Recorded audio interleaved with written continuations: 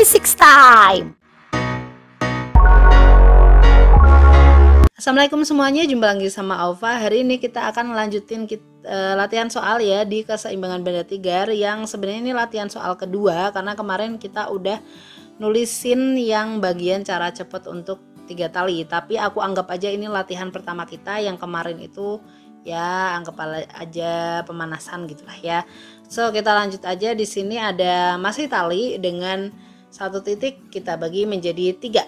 Jadi kita latihan di sini Hitung besar T1 T2 jika ini adalah 5 kg berarti W-nya 50 Newton kayak gitu ya. So kita selesaikan aja berarti bisa cari sudut-sudutnya dulu alfa beta gamma ya. So di sini kalau ini 45 berarti di sini 45. Di sini 90 derajat ya sehingga ini berpelurus berarti 135 di 180 kurangi 45 itu hasilnya 135. Kemudian yang di sini ada 90 ditambah 45 hasilnya juga ternyata 135 guys. Nah, yang di sini 90 derajat. So, bisa kita tulisin di sini ya 50 per sin 135 per sama dengan T2 per sin 135 sama dengan T1 per sin 90 kayak gitu ya. Dari mana silahkan kalian tengok video sebelumnya. Oke, so kita dapetin aja pakai salah duanya aja 50 persen 135 sama dengan T1 persen 90. Sin 90 itu 1 ya. Sin 135 itu kayak sin 45 setengah akar 2 gitu.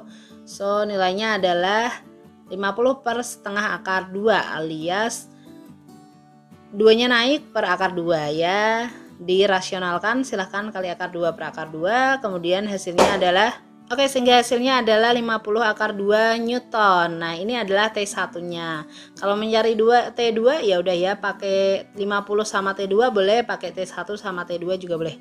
Oke, aku pakai 50 aja karena di sini bawahnya lihat ada sin 135 sama sin 135 ya, hasilnya sama berarti jelas T2-nya adalah 50 Newton. Selesai, guys. Oke, gitu doang ya, gampang. Kita akan lanjut nanti di soal berikutnya. So, jangan lupa subscribe, like, and comment. See you next time. Assalamualaikum.